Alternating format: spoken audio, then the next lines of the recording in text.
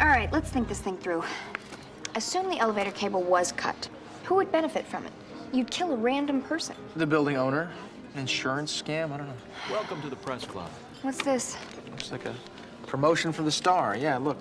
Every customer receives a free copy. Oh, it's not bad enough Carpenter has to lower his newsstand price. Now he's giving it away. What are you looking at? Carpenter has an editorial demanding stronger building codes in light of the elevator accident. He's calling for a criminal investigation into the manufacturers. So? So he's a fast writer. It's in the same edition as Linda's article. The man's a walking opinion. It's not like you'd have to do a lot of thinking. But still, hmm. I'll be right back. Order me angel hair with tomato and basil, no olive oil, extra Parmesan cheese.